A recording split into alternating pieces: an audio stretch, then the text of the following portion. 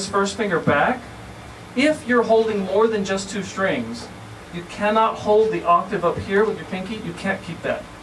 That note must also come down a half step. So watch my fingers. This becomes that.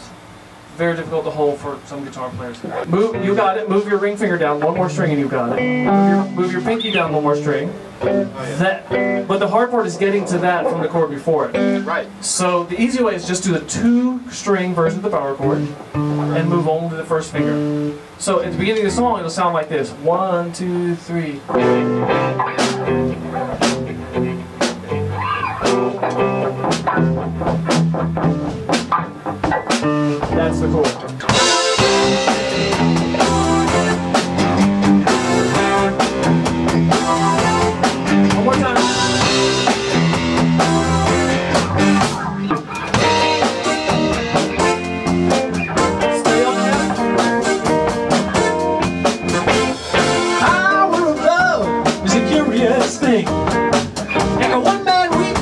Another man sing.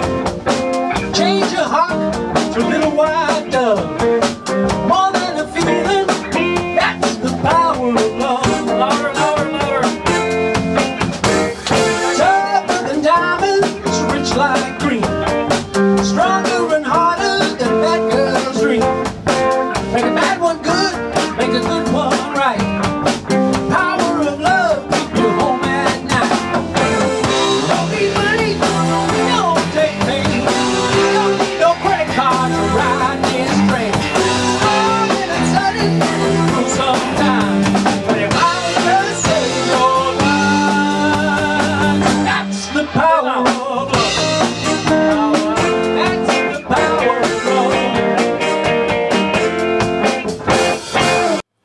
Practice these dynamics in a focused manner. We don't want it to be haphazard. We don't want to just say, we need to play with more dynamics, which is what's been happening. Let's actually make it, uh, let's enumerate it, in other words. First time you feel it, it might make you sad.